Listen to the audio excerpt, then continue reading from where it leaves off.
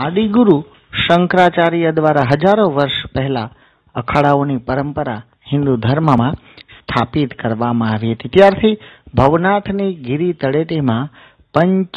દશનામ અગ્નિ અખાડા જોવા મળે છે. આ અખાડા દરમિયાન શિવરાત્રી અને પરિક્રમામાં સમયમાં ખૂબ મોટી સંખ્યામાં ભક્તો હાજરી આપે છે. ભવનાથ મહાદેવની બિલકુલ સમીપે આવેલા પંચ દશનામ અગ્નિ અખાડામાં વિશેષ પરંપરાઓ સાથે આજે પણ ધર્મનું રક્ષણ અને ધર્મના ફેલાવાને લઈને ધાર્મિક કાર્યો થતા જોવા મળી રહ્યા છે. અખાડામાં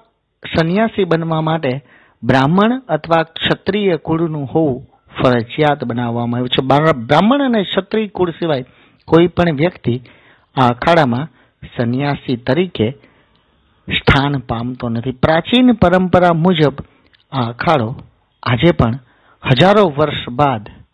ચાલી રહ્યો છે अखाड़े की स्थापना ये आदि अ, गुरु स- शंकराचार्य महाराज जी ने अ, उनके स-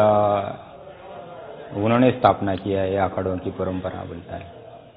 धर्म प्रचार करना जो भी बोलता है पदा पदाधिकारी हो धर्म प्रचार करते कोई क्या करते पारायण करना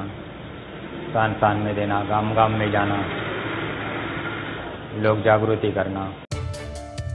સતત ચોવીસ કલાક સમાચાર જોવા માટે ડાઉનલોડ કરો ઈટીવી ભારત એપ